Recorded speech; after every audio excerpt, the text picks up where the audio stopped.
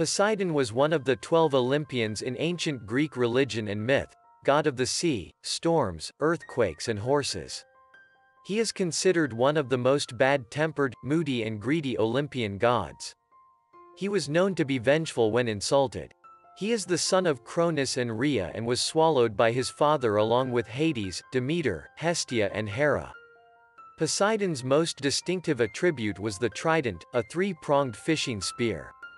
During the War of the Titans, the Cyclops crafted a magical trident for Poseidon, and together with his brothers Zeus and Hades he defeated the elder gods and imprisoned them in Tartaros. After the gods defeated the Titans, the world was divided into three. Zeus, Hades and Poseidon drew straws to decide which they would rule. Zeus drew the skies, Hades the underworld, and Poseidon the seas. There is only one reference to this divide, by Homer in the Iliad. Poseidon is most commonly depicted in ancient Greek art as mature and bearded. He often brandishes his trident, fashioned by the Cyclops, with which he would create earthquakes by striking it to the ground. He is also frequently portrayed riding his golden chariot pulled by hippocampus, half-horse and half-serpent creatures with fishtails, or gold-shod horses, of which he was patron. Dolphins, seahorses, and tuna fish are additional marine animals frequently seen in the god's company in art.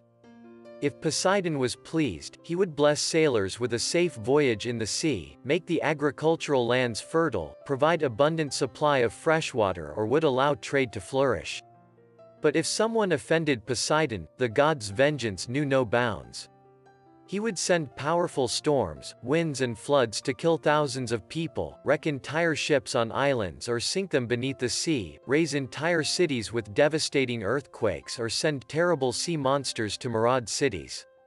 One of the famous things about Poseidon is, story of Pegasus or Medusa from another angle. Poseidon desperately desired Medusa, a virgin priestess of Athena.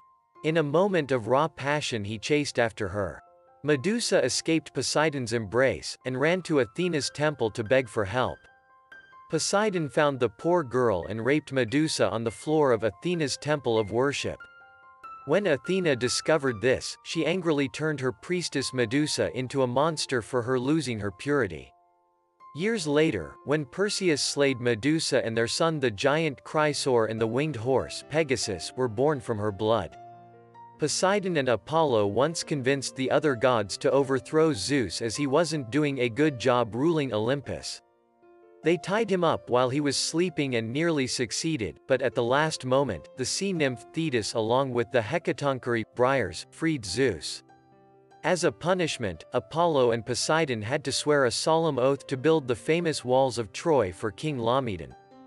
Poseidon is a major protagonist in the Trojan War of Homer's Iliad, where he supports the Greeks and gives them either encouragement with rousing speeches, often in disguise as various Achaean personalities, or actually leads them in battle with flashing sword. However, he does also give aid to the Trojan hero Aeneas in order to escape from the fearsome Achilles. Poseidon also features in Homer's Odyssey as the nemesis of Odysseus. In revenge for the blinding of his son Polyphemus, he cursed Odysseus to wander the sea for ten years. Poseidon's name is very old, and its meaning is lost to us.